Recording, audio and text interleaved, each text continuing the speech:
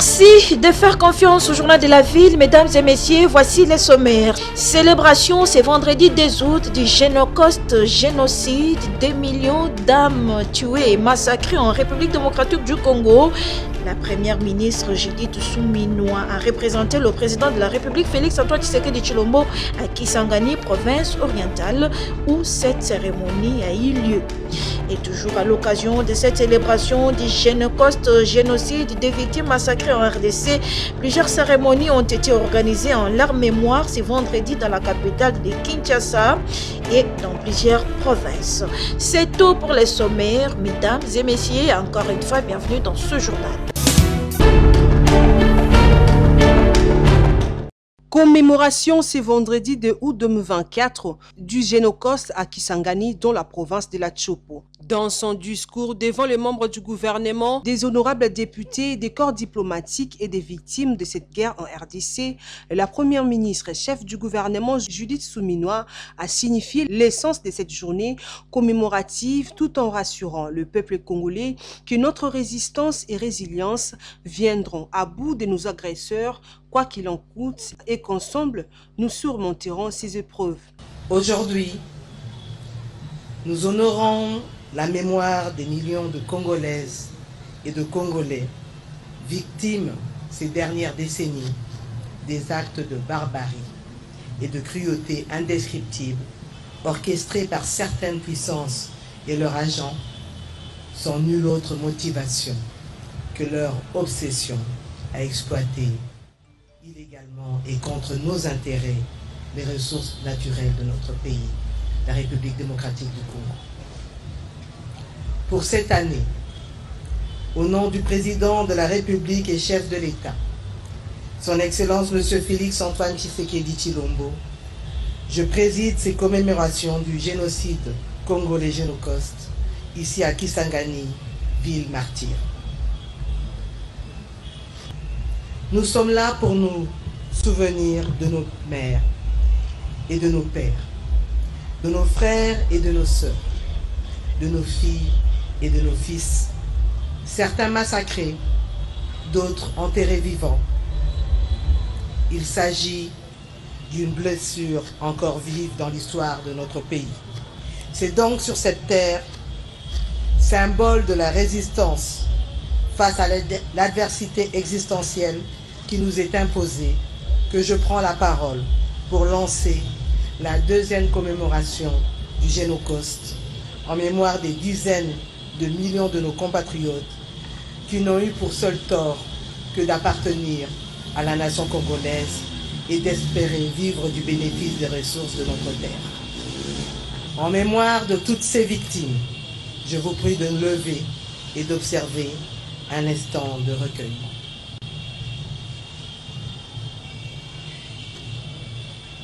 Cette deuxième commémoration se tient pendant que nous faisons face particulièrement au Nord Kivu, à une agression de l'armée rwandaise et ses supplétifs terroristes du M23. La date du 2 août constitue un moment de communion pour toute la nation congolaise, non seulement pour rendre hommage aux morts et aux survivants du génocide congolais, dénoncer les pillages systématiques de nos ressources, mais aussi, surtout, pour raviver la flamme patriotique en ces moments où notre pays continue de subir une agression injuste.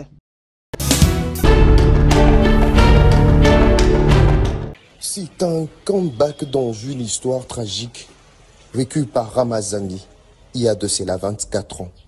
La guerre de six jours opposant deux armées étrangères sur le sol congolais. À l'époque, élève âgé de 9 ans dans cette même salle de classe. C'était commencé quand on faisait le travail manuel dehors là-bas. On a senti des balles commençaient à retentir. Et nous, on a commencé, on a fui dans notre salle. On nous a enfermés ici. Et les enseignants sont partis. Ils nous ont laissés ici. Nous nous sommes débattus jusqu'à ce qu'on a arrivé à fuir. Certains élèves seront gardés pendant deux jours dans la cour de la sœur supérieure avant leur évacuation des propos prononcés par celui qui fut à l'époque promoteur de cet établissement. Les Ougandais étaient montrés sur la toiture de la maison qui est là.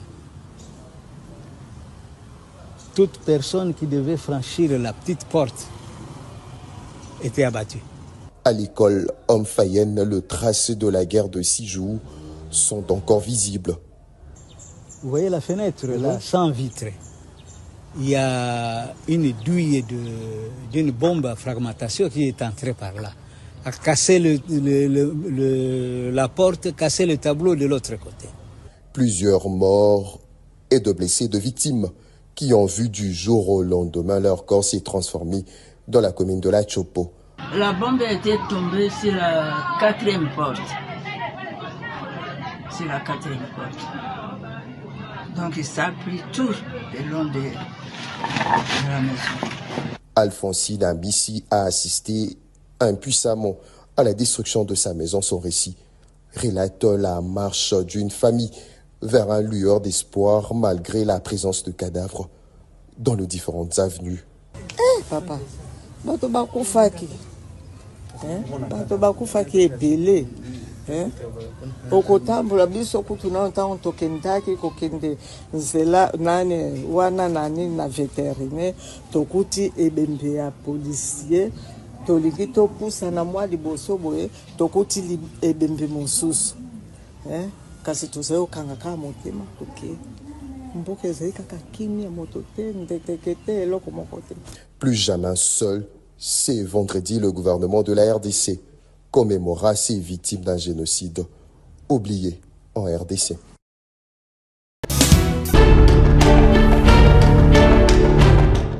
Commémoration CD août 2024 du génocide en République démocratique du Congo, l'acteur actif et doyen de la société civile, Jean-Marie Tantoumé, exprime son indignation et dit non à l'utilisation des populations comme des chairs à canot pour la conquête du pouvoir.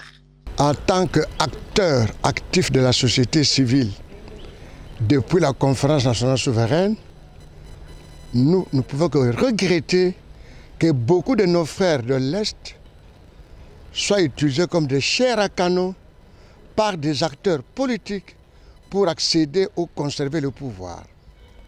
Nous regrettons que particulièrement la province orientale ait été le champ des batailles pour des pays étrangers. Nous continuons à souffrir. Nous invitons nos frères de l'Est à continuer à être courageux pour s'opposer à ces génocides voulus par des étrangers et malheureusement certains de nos fils et filles congolais. Nous encourageons et félicitons le gouvernement d'avoir décidé d'organiser une journée pour nous rappeler ces morts tragiques, ces morts inutiles. Mais nous voudrions qu'au-delà d'une journée consacrée à ceux qui sont morts, que nos dirigeants fassent un effort pour arrêter ces génocides de pauvres populations qui ne demandent que la paix, qui ne demandent que la démocratie. La République démocratique du Congo paye un lourd tribut pour des gains économiques depuis plusieurs décennies avec des millions de victimes qui continuent de tomber sous silence de la communauté internationale.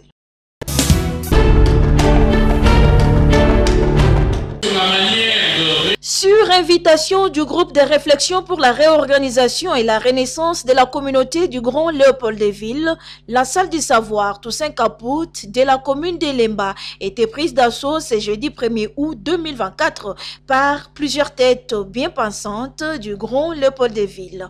Parmi l'honorable Jean-Pierre Passi Zapamba, leurs excellences Simon Bosso Kamputu, Jean-Marie Tantoumé, Alexandre Tona Tona, Joseph Mabanga, Sébastien Bachi, Albert Nzama et tant d'autres.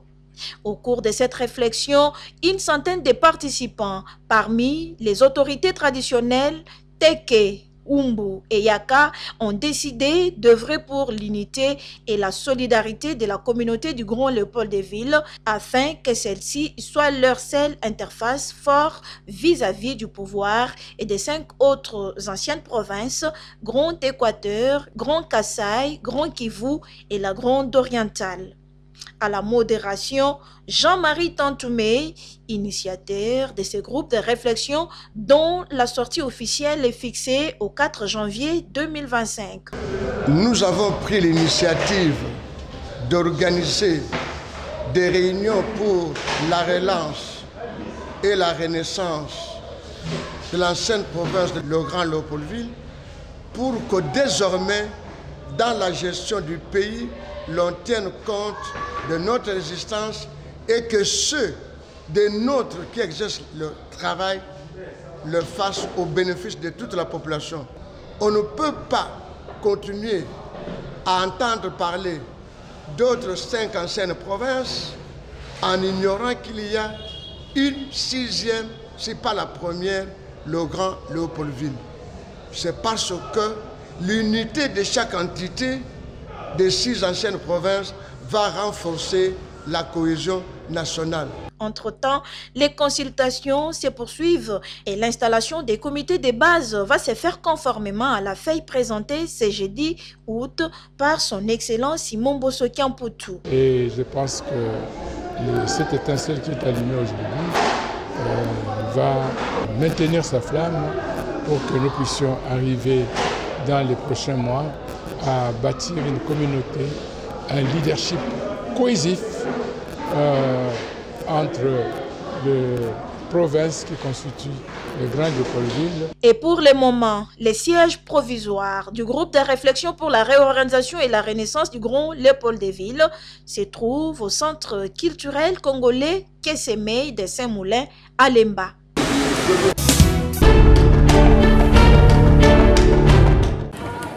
Une journée de sport pour tous organisée ce jeudi 1er août 2024 à l'université de Kinshasa par la direction des sports dirigée par le professeur Dr Nyangindula Mabenza Betty sous le haut patronage du recteur de l'UNIKIN, le professeur Dr Kayembe Tumba Jean-Marie qui a donné les coups d'envoi devant le bâtiment administratif. J'ai une satisfaction particulière, c'est ce que c'est celle de voir de tout jeunes, de tout petits avec nous, des moyens je ne dirais pas des vieux, mais des moins jeunes, qui sommes ensemble aujourd'hui pour pratiquer, célébrer le sport. Que la fête commence. Une journée spéciale de la direction des sports qui a réuni les professeurs, les étudiants ainsi que les élèves de Moamba, les recteurs de l'UNIKIN, la directrice chef des sports, ainsi que tous les participants ont effectué une marche qui est passée par les hommes Vatican, barrière Homme 7, pour chuter au complexe sportif. Arrivé sur place, le professeur Dr Mabenza Betty a fait visiter le recteur de l'UNIKIN les différents ateliers constitués en commençant par la lutte, en passant par la boxe, la performance des athlètes et des judo, volleyball avec les personnes vivant avec handicap et autres. Objectif, lui faire part de leur désidérata. C'est lancer le sport, c'est-à-dire demander aux gens de venir pratiquer le sport parce que le sport est bon pour leur santé, que le gouvernement nous soutienne. Les infrastructures sportives sont inachevées, donc il faudrait qu'on arrive à les achever. On a le terrain de football, mais la piste d'athlétisme n'est pas en état. Nous avons les terrains de basket, le revêtement au sol. Absolument changer parce que sinon il y aura beaucoup de blessures. Il faut également favoriser l'accès aux personnes en situation de handicap. Donc le terrain doit être en bon état. Donc si le gouvernement peut nous soutenir dans ce sens-là, la piscine, vous avez vu, ce n'est pas encore bien terminé. Donc s'ils peuvent nous soutenir dans ce sens-là, ce serait une bonne chose. Le professeur Sumuna Temo, qui a participé, s'est exprimé. Nous félicitons le recteur qui a pris cette initiative parce qu'il y a longtemps que nous avons vu le corps académique, scientifique et même les élèves du groupe scolaire en bas et d'autres athlètes et sportifs de la ville de Kinshasa monter au campus pour nous soutenir dans cette reprise des activités physiques. La direction des sports de l'UNIKIN, par le biais du professeur Dr Myangindula Mabenza Betty, est fier de remettre sur les rails les activités de ces départements.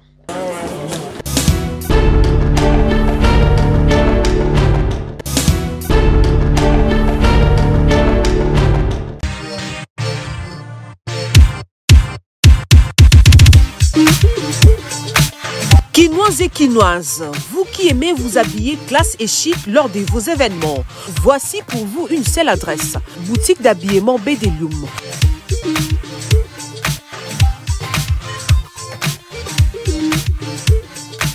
Avec ses plus de 20 ans d'expérience dans les domaines vestimentaires, vous trouverez chez Bedelium des vêtements et collections de haute gamme à un prix très abordable nulle part ailleurs.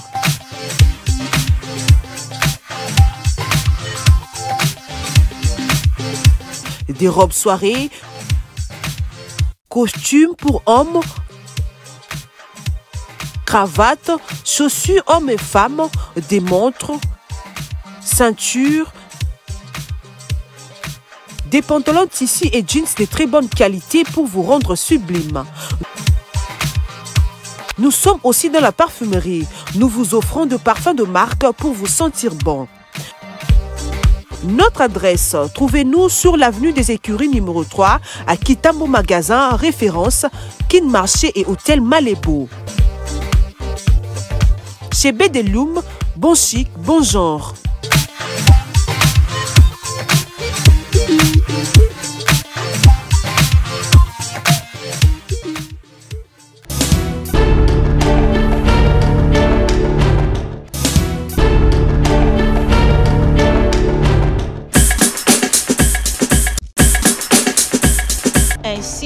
S'achève cette édition du Journal de la Ville. Mesdames et messieurs, merci de l'avoir suivi.